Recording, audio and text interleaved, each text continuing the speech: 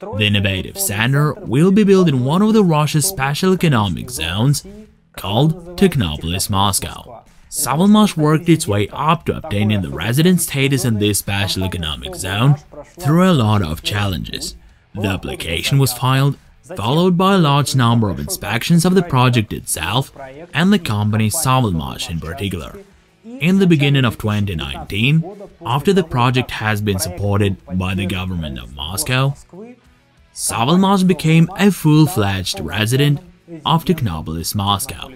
What does the resident status offer? First of all, our company was allotted a land plot for the enterprise construction completely free of charge. Besides, we have serious tax benefits, ready-made infrastructure, including the roads, railways, and connected utilities, as well as access to highly qualified personnel, who such an innovative enterprise will definitely need. But this was only the first step. After it, the land lease agreement was signed and the initial preparatory activities started. We will start the construction of our innovative center in the near future.